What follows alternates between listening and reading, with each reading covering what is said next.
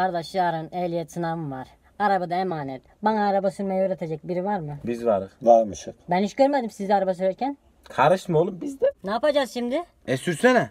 Nasıl süreyim? Nasıl sürecek? Marşa basacak herhalde. Lan bu geri geri gidiyor. Mantıksal bir hata yaptık herhalde. Hamdi abi araba nasıl kaldırılır? Tamam. Nasıl kaldırdın? Çekici lazımmış. Ya çekici mekici boş ver. Bas marşa ben bir filmden hatırlıyorum. Bismillahirrahmanirrahim. Önü kalktı arabanın yavaş yavaş. Lan gebereceğiz düzgün şu sürmene de amına. Sefa sen ne yapıyorsun? Lan ne bi-